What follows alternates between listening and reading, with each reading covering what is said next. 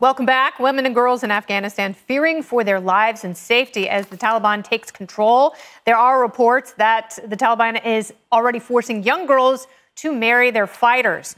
While those concerns are growing, President Biden says he supports defending human rights. We'll continue to speak out for the basic rights of the Afghan people, of women and girls, just as we speak out all over the world.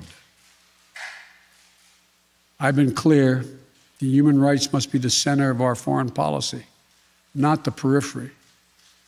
But the way to do it is not through endless military deployments. Mm, that's fine, but what happens to the women and girls now who are fearing for their lives? Very bad things. Yeah. And in record time.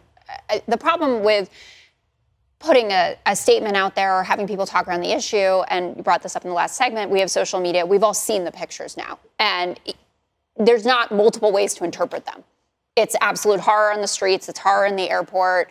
Our embassy's been cleared, our flag was coming home, and that has real symbolic and practical meaning. We are not there anymore to protect them. And I, I think there's this really interesting dichotomy going on, and we've talked about the intelligence community, but Congress also got it right on this. So just a little while ago, Jason Crow, who's a congressman and a veteran, had a bill putting forward to fast track visa applications for Afghans in light of the fact that we have decided that we're going to be coming home.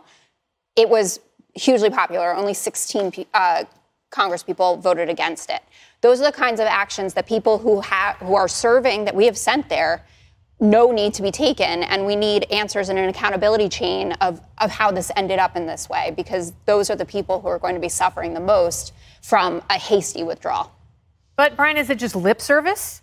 You know, it's like we heard the same thing from Vice President Harris when she visited the border, and she talked about, you know, a, an initiative that she had helping women and girls in Guam, but still really not a root cause. So you can talk about it, you can send thoughts and prayers, but what does that really do? We don't even, uh, in her case, let me just read you what she said about the women.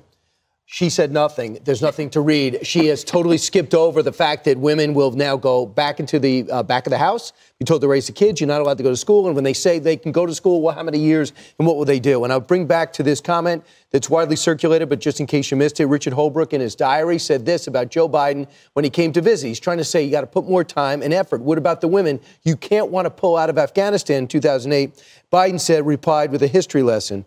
Uh, he said, Uh, what he said about the American obligation Afghan, like the girl in the Kabul school, Biden replied, the history lesson from the U.S. withdrawal from Southeast Asia. F them. We don't have to worry about that. We did it in Vietnam. Nixon and Kissinger got a pass. Ah. That's how he felt in his prime. How do you think he feels now? I don't know, but he's he's saying that you know fighting misogyny and fighting for women that is uh, the the hallmark of his presidency. Should he get a pass? Well, I think that um, Nancy Pelosi is going to give him a pass. So she's Speaker of the House, and she said uh, yesterday, yesterday before the president said anything, that the president is to be commended for the clarity of purpose of his statement on Afghanistan. This was the two-page long statement he uh, issued.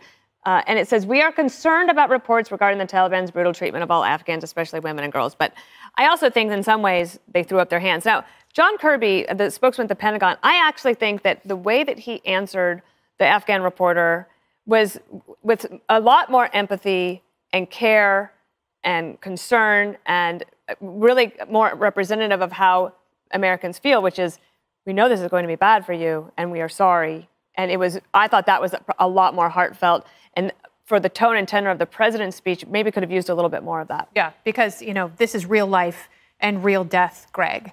And, and I, I, think she's absolutely right. I don't think the president touched on that enough. And sometimes uh, these platitudes are empty because who is going to document the, the lives and murders of the women who are left behind and essentially sh- subjugated? Yeah, and, I mean, and how, how can we be exporting our values, right? When we consider in our own country that, that our values are oppressive. You know, will the squad. We're terrible people. Yeah, we're terrible people. Will the squad defend or condemn this cultural resurgence, yeah. right? We've, I, we've read it. We've read hard lefties def- defend the role of women in radical Islam. So it's going to be really hard to see these people say, wow, we need more American values over there. Right. Good luck. Well, in terms of the squad, they need uh, more history lessons because yeah. Rashida Tlaib uh, sort of botched her explanation of Soviet involvement in Afghanistan.